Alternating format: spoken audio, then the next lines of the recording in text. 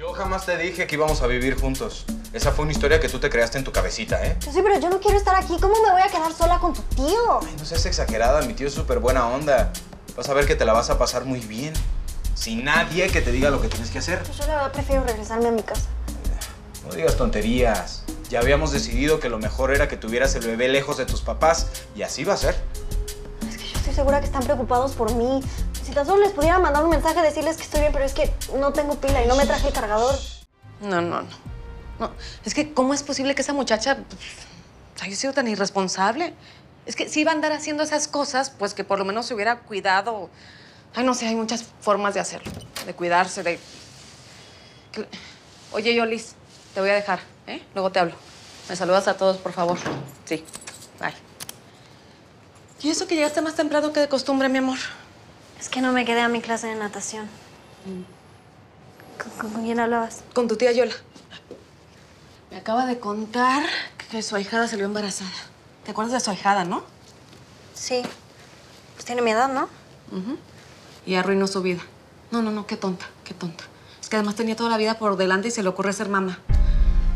Ay, pues por suerte tú eres una niña muy decente que jamás en la vida yo sé que nunca nos darías a tu papá y a mí ese dolor de verte echar a perder tu vida. Bueno, mamá, pues a lo mejor se enamoró, se entregó por amor y los anticonceptivos no le funcionaron. A cualquiera le puede pasar, ¿no? Bueno, a ti no. Tú eres una niña decente. Ya no soy una niña, mamá. Tengo 16. Ay, mi amor. a ver, el amor a tu edad se confunde con cualquier otra cosa. Por eso te tienes que fijar muy bien en las intenciones de los muchachos.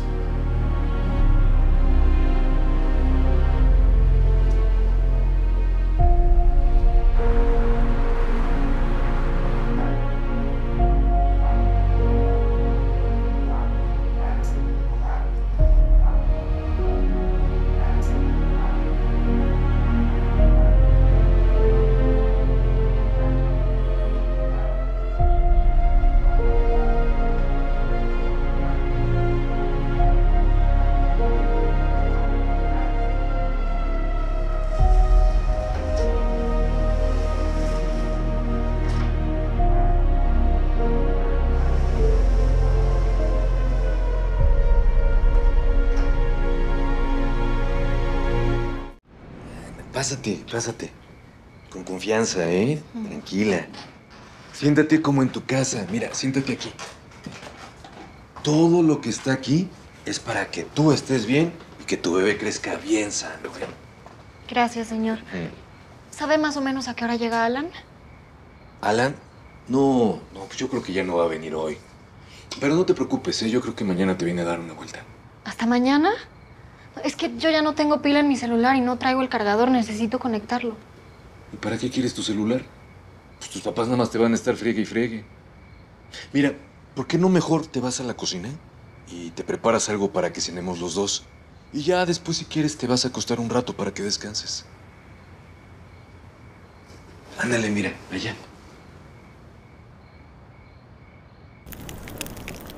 Cuando entré al cuarto de Isolda en la mañana para despertarla, me encontré con una carta y la carta decía que, que no la buscáramos, que ella iba a estar bien, que, que me amaba.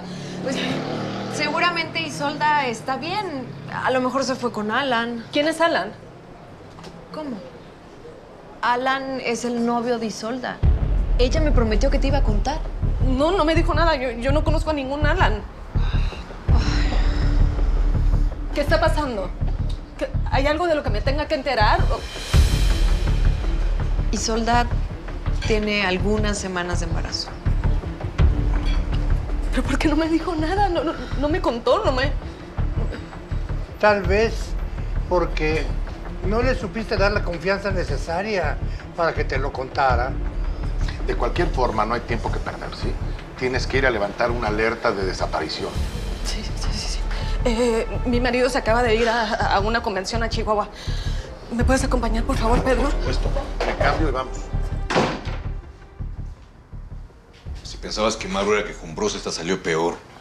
A ver cómo le haces para bajarle los humos, ¿eh? No te preocupes, está bien clavadísima conmigo. Vas a ver que ahorita te la dejo hecha una sedita. Pues más te vale que la chamaca está friegue y friegue. Para mí que se quiere regresar a su casa. Y si eso pasa, me vas a tener que regresar hasta el último centavo del anticipo, ¿eh? Tú sabes que yo estoy estrenando coche. Yo ya no tengo esa lana. Pues me vale. Se te está olvidando que esto es un negocio, ¿eh? Y a mí o me das a chamaco de ese escuincla, o no te va a gustar la manera en la que te voy a cobrar esa lana, mi Fer.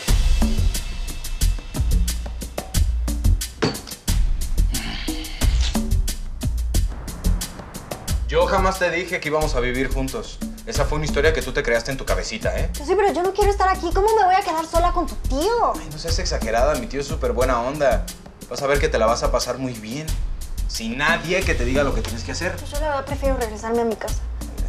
No digas tonterías. Ya habíamos decidido que lo mejor era que tuvieras el bebé lejos de tus papás. Y así va a ser. Es que yo estoy segura que están preocupados por mí. Si tan solo les pudiera mandar un mensaje, decirles que estoy bien, pero es que no tengo pila y no me traje el cargador. Calma, calma, calma. Mejor piensa las cosas y después les llamas. ¿Sí? Dame tu celular. Yo te lo puedo cargar. Nos vemos en unos días. ¿En unos días?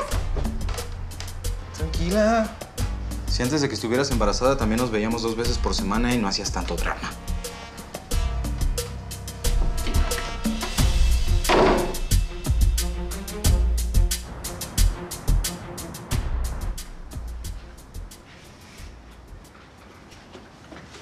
¿Necesitas algo? Sí. Irme de aquí.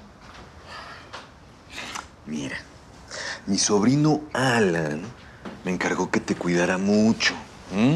Así que, pues eso no se va a poder. Siéntate, ándale. ¿Qué no te quejabas mucho tú de tu mamá? Qué chistoso, ¿no? ¿Y ahora te quieres regresar con ellos? Es que necesito comunicarme con mis papás. Tengo que decir que estoy bien, por favor. Mira, Escuincla. Si tú quieres que tú y yo nos llevemos la fiesta en paz, más te vale que obedezcas. ¿Sí?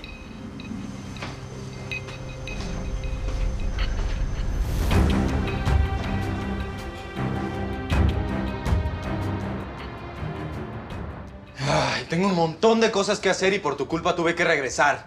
¿Cómo está eso que te le pusiste loca a mi tío? Eso no es cierto. Yo nada más le dije que me quiero ir a mi casa. Ey, ch, ch, ch, sí, bájale a tus dramas que yo no vine a calmar tus berrinches, Es ¿eh? que no es ningún berrinche, Ala. No me gusta estar aquí encerrado todo el tiempo. Entiende que esto ya no se trata de ti, sino de nuestro hijo. Y si a ti no te importa lo que le pasa a ese niño, está bien, pero es mi hijo y yo lo amo. No es que no me importe nuestro hijo, es que no me gusta estar aquí encerrada todo el tiempo sin hablar con nadie.